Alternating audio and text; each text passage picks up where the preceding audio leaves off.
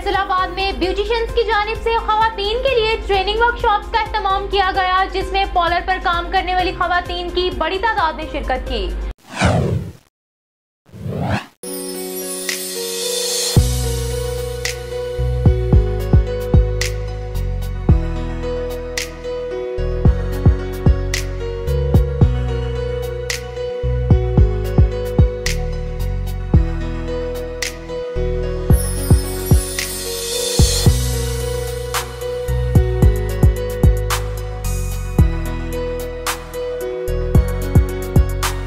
गुलबर्ग में निजी मार्केट के अंदर ब्यूटिशियंस की जानब से ब्यूटी टिप्स देने के लिए तकरीब का अहतमाम किया गया, जिसमें घर में रहने वाली खातन और पॉलर पर काम करने वाली खातन को ब्यूटी टिप्स दी गई और खूबसूरत रहने के तरीकों के बारे में आगाही भी दी गई। अच्छा रिस्पांस मिला। अच्छी ब्यूटिशियंस आई हुई थी उन्होंने भी इसके बारे में अच्छी इन्फॉर्मेशन दी। वो चाहते हैं कि हम लोग भी नॉलेज गेन भी करें और आगे प्रोवाइड भी करें लोगों को। सबसे ज़्यादा कौन सा हेयर स्टाइल जो इन है लड़कियों में और घर में अगर किसी ने बनाना हो तो उसके लिए क्या कुछ चाहिए होता है? ऑलमोस्ट लोग कर्ल्स करते हैं या फिर स्ट्रेट करते हैं। तो स्ट्रेटनर के लिए स्ट्रेट चाहिए होता है कलर इलेक्ट्रॉनिक्स होती हैं जो जी रिस्पॉन्स बहुत अच्छा मिला है।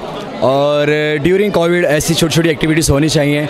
और कोरोना के बावजूद माशाल्लाह काफ़ी गैदरिंग है और बहुत कुछ सीखने को मिल रहा है लोगों की इस क्लास में और मेकअप की क्लास हो रही है हेयर के डेमोज हैं और काफ़ी एक्सपीरियंस न्यू टैलेंट लोगों को मिल रहा है।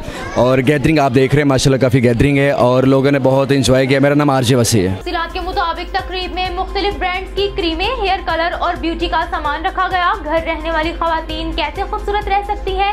सब बताया गया जबकि तकरीब के मेहमान खसूसी फैसलाबाद प्रेस क्लब के जनरल सेक्रेटरी जफरान सरवर थे। बहुत अच्छा रही है ये हमारी क्लास। मेरा नाम नसरीन है और ये क्लास करवाने का यही मकसद होता है कि अवेयरनेस मिले और यहाँ पे आके हमने हेयर स्टाइल सीखे हैं और मेकअप के डेमो थे जो उनसे बहुत अच्छे रहे हैं यहाँ पे।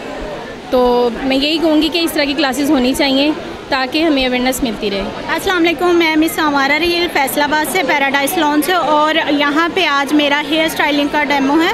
और आर जी वसी ने ये क्लास अरेंज की है। बहुत अच्छी क्लास है, बहुत ज़्यादा गैदरिंग है। बहुत सारी स्टूडेंट आई हैं जो सीखना चाह रही हैं तो बहुत अच्छा हम सिखाने आए हैं। Thank you ji.